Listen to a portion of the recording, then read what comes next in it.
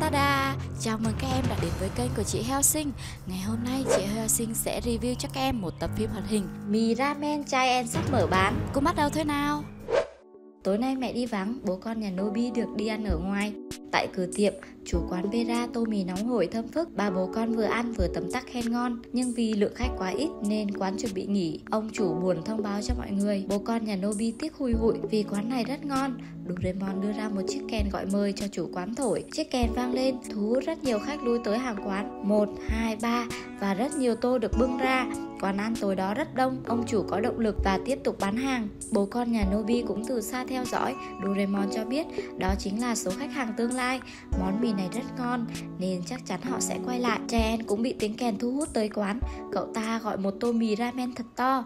Ngày hôm sau, đám bạn được Chayan tập trung tại nhà vì sau khi ăn món mì, Chayan đã được truyền cảm hứng từ ông chủ và cảm thấy mình cũng có tài nấu nướng nên Chayan đã tự vào bếp làm món mì ramen. Chỉ nghe tới thôi cả nhóm đã sợ hãi nhưng không ai dám làm trái ý vì sợ bị cậu ta đánh. Nồi ramen của Chayan thật là kinh khủng. Tất cả các nguyên liệu được cậu ta đổ vào, mùi hôi nồng nặc bay ra. Nấu xong, Chayan hào hứng bê lên, thứ nước dùng màu đỏ xiên xịt trào ra. Mùi vị lẫn mọi thứ trong tô mì đều nhão nhẹt đến ám ảnh để mọi thứ trở nên hấp dẫn hơn Trai En còn kèm theo câu châm ngôn của ông chủ bán mì. Tới đây thì cả nhóm cũng ti nhau té ngửa. Tới chiều, sau khi tan học về, Nobita kể cho Doraemon nghe kế hoạch tiếp theo của trai En Rồi lẳng lặng đi gọi mọi người. Mặc dù trong lòng cậu không muốn, Sunio lấy lý do là đau đầu, không thể đi được. Rồi tiếp theo, các lời mời cũng bị từ chối. Chỉ còn Nobita đến nộp mạng. Nhưng khi trai En vừa mở cửa ra, Thì mùi hôi ám ảnh làm Nobita muốn ói ngay lập tức.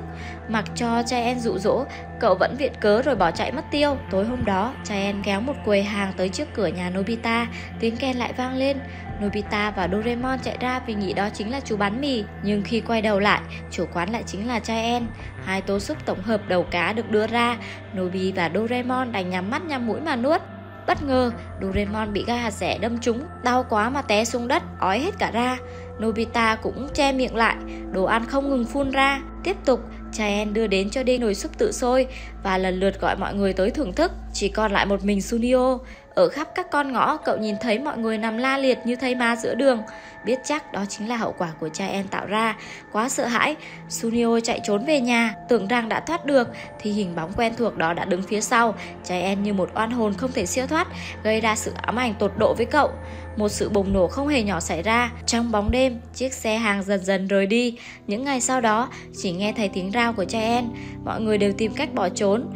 Mọi nơi cậu ta đi qua đều im im lặng đến khó tưởng. Quá ế ẩm, Cậu ta than phiền với chủ quán mì ramen Sau một vài lời khuyên Thì chủ quán lại đưa chiếc kèn gọi khách trao cho Chai En. Sau bao ngày Nobita lại bị Chai En bắt gặp. Tiếng kèn vang lên cưỡng chế họ quay trở lại Lần này Chai đã có bảo bối trong tay Cậu liên tục thổi kèn Khiến tất cả mọi người không thể chịu đựng được thêm nữa Cả nhóm họp lại cùng nhau tìm cách chống đối Doraemon đưa ra bảo bối huy hiệu bốn mùa rồi chỉnh sang mùa hè như vậy thì có thể ngăn cản Chai dừng nấu bếp vì hiệu lực của nó rất hẹp nên họ chia nhau ra đi khắp đường và dán ở khắp mọi nơi. Thời tiết oi bức giữa mùa hè, món mì ramen không còn phù hợp nữa. Chaen đành phải thông báo với mọi người, cậu ta sẽ dừng nấu bếp. Nhóm bạn reo lên mừng rỡ, cuối cùng thì con phố này đã được bình yên rồi. Chưa được bao lâu, tiếng kèn ấy lại vang lên. Nhóm bạn bị ép buộc theo tới gian hàng của Chaen. Họ hoảng sợ vì lần này Chaen đổi chiến thuật, chuyển qua bán mì lạnh Trung Quốc.